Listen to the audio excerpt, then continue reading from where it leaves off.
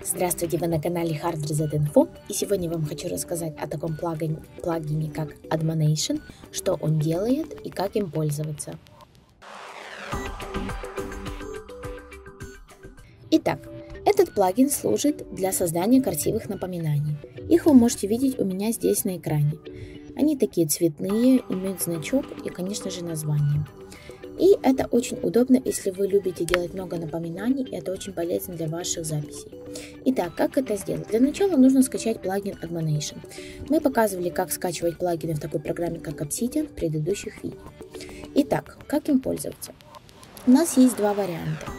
Первый – это заходим в палитру команд, вводим Admonation и видим Insert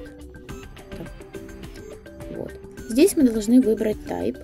Это э, у вас здесь все видно, можете сами почитать. Это просто э, вы выберете цвет и как бы э, что это? Это у нас node или это у нас type или еще что-то. Например, давайте выберем это. Здесь можно поменять название, если вам это нужно. Например, я напишу так. И здесь можно тоже выбрать. И теперь insert. И у нас вот есть напоминание.